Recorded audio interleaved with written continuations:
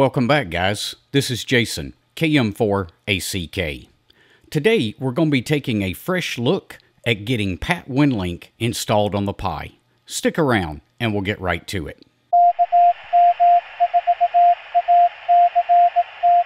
So if you've been following the channel for any length of time, you may have seen my original series on getting Pat WinLink running. That video series is long overdue for a remake. The quality of the first series left a lot to be desired. The original was done on a Raspberry Pi running Stretch. We now have Buster to work with. And I've learned a few new things uh, in the way we go about doing uh, some of the stuff. So let's go ahead and dive into it and see if we can't get it running on Buster today. So first thing we'll want to do is go ahead and open up our terminal window. Now, I have already ran uh, sudo apt-get update and sudo apt-get upgrade. So I took care of those before we started the video just to save us some time. We're going to try to get this done in one, uh, one video uh, to get it installed, configured, and get Pi ARDOP running as well. So hopefully we can keep this to about uh, 10, maybe 15 minutes, and then we'll break the rig control section out into another video. Okay, so the first thing we're going to do is move over to the downloads directory with cd downloads. And then let's head over to the PAT webpage so we can download it and get started. All right, uh, from the main page of PAT, and that's at uh, getpat.io. And I'll leave a link to this down in the description below.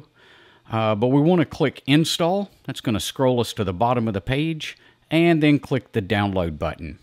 That's going to take us over here, and uh, this is something else that's different from the original. I think it was version 0.6.1 when I did the original series. Uh, just a couple of days ago, 0.8.0 came out. So that's the latest as of the uh, time of recording of the video. All right, so let's scroll down just a little bit. And right here, this is the one we want. You see he even notes it's for the Raspberry Pi. So we're going to right click on that and say copy the link location. Back on the Pi, let's use our wget command and paste in the link that we just copied. Hit return and give that just a couple of seconds to download. Pretty small file, so it doesn't take very long at all. All right, so let's just clear the screen and list out our directory. So you can see that we have the file there. So let's use sudo dpackage, d pkg-i, and let's start typing the first few letters of that file name, and then hit the tab key on our keyboard to autocomplete. Go ahead and press return to start the installation. And it only takes a couple of seconds. So the next thing we need to do is go ahead and configure uh, run the pat configuration to get all of our variables plugged in. So we'll do that by running pat space configure. And that'll bring us into the pat configuration file. So right up at the top, uh, first thing you want to do is enter your call sign. And guys, one thing in this file, if you make a mistake, uh, it, it, can potentially create some problems and Pat might not even start. Uh, at the end of the video, I'll show you how to remedy that problem if you do make a, uh, a, a, mistake inside of this file. But as long as you're careful uh, typing this information in, you shouldn't run into any problems. Okay, so we got our call sign. So the next is the secure login password, and this is your WinLink password and it is case sensitive. So if you've got a really old WinLink account, that may be all caps. If you've got a newer one or you've changed it, uh, that may be a mix of lowercase and uppercase. Just make sure you get it correct here. And the next thing we're going to do is come down to where it says locator. And that's going to be our grid square. So I'll give it my grid square. And the last thing I recommend doing is coming down to the HTTP address right here, and I like to take out localhost and replace that with 0.0.0.0. Now, the four zeros here, what that does is that allows us to access PAT over a computer network. Uh, we don't necessarily have to be at the Pi in order to access the PAT mailbox. One other thing that I do uh, right here is this 8080 that you're looking at is the port number. I always change this. Uh, it, it, keeps me from getting into trouble later when I forget uh, something. Maybe I'm installing a web server. Uh, I know on the DRAWS hat uh, that this will not work if you leave it at 8080 because that port is already reserved for something that they do with a DRAWS hat. So I just like to go ahead and change it. I typically default to 5000. Seems to be a good port that doesn't get in the way of other things going on. All right, once you've got that done, let's press Control X, Y, and Enter to get out of it. Now let's go ahead and try to start PAT. So PAT HTTP Press return and you'll see that it's telling us it has started the HTTP service. So let's go ahead and open up the web browser. And I'm going to, uh, right here, type in 127.0.0.1 colon 5000. And that's that port that I mentioned to you before. And on the first run, you want to go ahead and click Allow right here.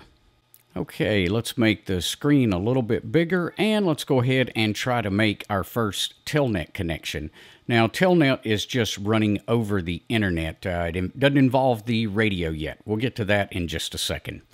But let's go ahead right here and for our alias, we're going to select Telnet and let's go ahead and hit connect. And down here in the bottom window, you can see that our connection was successful. So we know up to this point, we've got PAT configured correctly to work with Telnet. So the next thing we want to do is we want to start PAT as a service. Uh, so what this means is Pat will automatically be started and run in the background anytime we boot our computer. If there's some sort of issue with it, it crashes or whatever, the system services will go ahead and restart Pat for you. So back over on the home page, I'm just going to click uh, the Documents button here. And once we get over here, we'll click on the Web GUI on the right-hand side. And then once we're on the Web GUI page, let's scroll down just a little bit until we see Running Pat as a background service. So this is only two commands to make this happen. So I'm going to start right here uh, just before the Your Linux username and go ahead and copy that command. So we'll paste that in here and past the at symbol, you need to give it your username, uh, your Pi username. Now, if you haven't changed that, it's simply going to be Pi. And I'm running on a bare bones uh, system with nothing else installed, so I'm running Pi here. Most often in my uh, in in the on the Raspberry Pi that I actually use in the field, I've changed my username to my call sign. So if you've made a change uh, to your username, you'll need to include that here. But your username is right over here before the at symbol. So in this case, we'll just say pi. And then back on the page, the other thing we're going to do is grab this command here. So we'll copy it, paste it in, and again, put your username at the very end. It should return you back out to the command prompt. Now, just to verify everything is running and working correctly, let's just go ahead and do a quick reboot. I'll be back with you guys as soon as the machine comes back online. Okay, so now that everything is booted back up, I'm just going to type PIDOF space PAT. Hit the return, and you'll see that we get this number here. That indicates that PAT is up and running.